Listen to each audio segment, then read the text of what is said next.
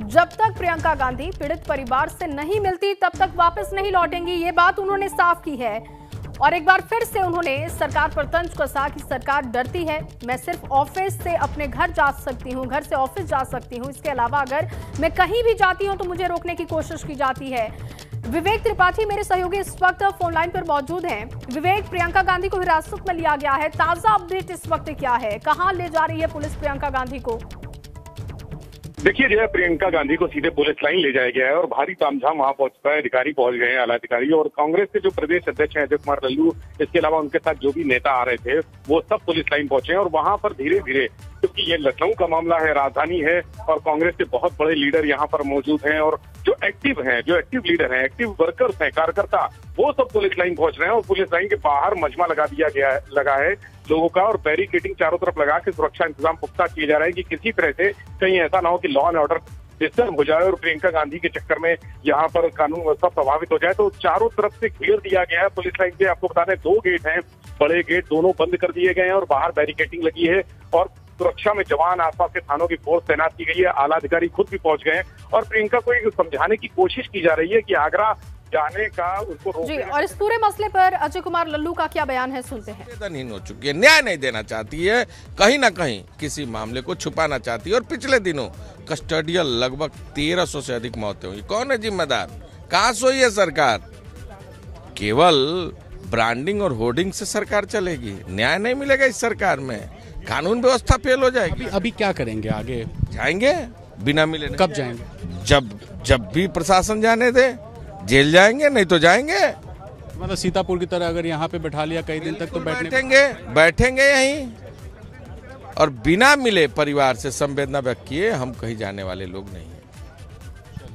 तो अजय लल्लू साहब जिनको आप सुन रहे थे जिन्होंने कहा। तो देखिए अजय कुमार लल्लू को आपने सुना। उन्होंने कहा कि जब तक हम परिवार से नहीं मिलते, तब तक हम वापस नहीं लौटेंगे। विवेक मेरे सहयोगी लगातार बने हुए हैं फ़ोन लाइन पर। विवेक, अजय कुमार लल्लू का बयान भी सामने आ चुका है कि हम वापस नहीं जाने वाले हैं। किस तरीके के वहाँ पर इंतज़ाम है और एक्शन इस वक्त कांग्रेस की तरफ़ से क्या दिखाई दे रहा है? क्या इस तरीके की स्थिति वहाँ पर दिखाई दे रही है? क्या कि अंतिम संस्कार होने के बाद? क्योंकि एक तरफ़ हम तस्वीरें भी दिखा रहे थे कि मृतक युवक का अंतिम संस्कार किया जा रहा था। क्या उसके बाद कांग्रेस को आगे जाने की इजाज़त मिल सकती है? इस तरीके की स्थिति आप वहाँ पर देख पा रहे हैं। देखिए, जो पहले ये तय हुआ था कि जब वहाँ पर अंतिम संस्कार हो जाएगा, जिसकी पुलिस कस्टोरियल डेथ हुई है, उसके बाद प्रियंका गांधी को जाने देंगे, लेकिन वहाँ पर हालात अभी बेकाबू हैं। बहुत सारे लोग इकट्ठा हैं। वाल्मीकि समाज, क्योंकि आज वाल्मीकि जयंती भी है, इसलिए आक्रोश जो है वो दोगुना हो गया है और वहाँ भीड़ इकट्ठा है। लोग अपनी डिमांड को लेकर अड़े हुए हैं, मांग को लेकर अड़े हुए हैं।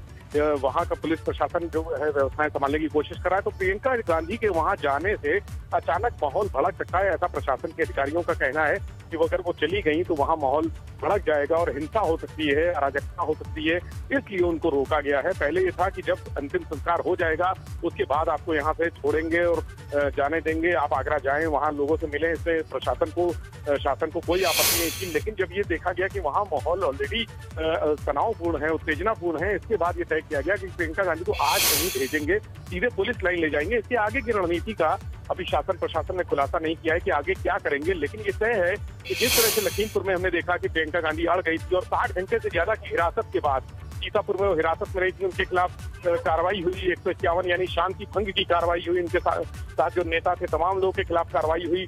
उसके बाद यहाँ भी ऐसा ही लग रहा है कि जिस तरह से क्योंकि धारा एक सौ चौवालीस लखनऊ में लागू है, और यहाँ पर भी भीड़ तमाम भीड़ उनके साथ में है तो हो सकता है कि यहाँ पर कुछ उनके खिलाफ कार्रवाई की जाए और उनको पुलिस लाइन में ही नजरबंद एक तरह से हिरासत में रखा जाए, नजरबंद रखा जाए। जब तक ये मामला शांत नहीं होता है तब तक जो शासन है प्रशासन है वो किसी भी तरह इस मंशा में नहीं है कि प्रियंका गांधी यहाँ से निकलकर सीधे आगरा पहुँचे और आगरा में जो माहौल बना हुआ है संवेदनशील बना हुआ है और वहाँ उनके जाने की वजह से कोई ऐसे हालात पैदा हो जाए जिससे कानून व्यवस्था संकट में आ जाए और प्रदेश की शांति व्यवस्था और पॉलिटिकल माइलेज देने की बात भी आ रही है। देखिए जिस वजह से लखीमपुर कांड में कांग्रेस ने पॉलिटिकल माइलेज किया था, वहाँ पहुंचकर या हिरासत में रही, वो दो तीन दिन हिरासत में रही तो वहाँ पर उसको पॉलिटिकल माइलेज मिला, कांग्रेस को राहुल गांधी भी आए और तमाम बड़े नेता आए उन्होंने लखीमपुर जाके मुलाकात की, पीड़ितों से मुलाकात की, उनके जो मुलाकात के फ़ोटो थे, सोशल मीडिया पे वायरल हुए, तमाम मीडिया पे वायरल हुए, सोशल प्लेटफॉर्म पे आज भी वो गले लगाने के फ़ोटो चल रहे तो ये एक तरह से कांग्रेस के जो बढ़ता प्रभाव है, अचानक इस तरह की घटनाओं में जो कांग्रेस का रुख होता है वहाँ पर जाके कार्रवाई करना लोगों से मिलना जुलना उनको गले लगाना इमोशनल जो संबंध बनाने का जो तरीका है कांग्रेस के लीडर्स का उससे कहीं ना कहीं ये हो रहा है कि कोई नुकसान राजनीतिक रूप से पहुँच सकता है और कांग्रेस को राजनीतिक रूप से फ़ायदा पहुँच सकता है। तो ये बिल्कुल और क्योंकि विवेक चुनाव भी पास है तो ऐसे में ज़ाहिर तौर पर फ़ायदा मिलेगा प्रियंका गांधी को जिस तरीके से वो कांग्रेस को मज़बूत करने का काम लगातार कर रही है लखीमपुर कांड के बाद से।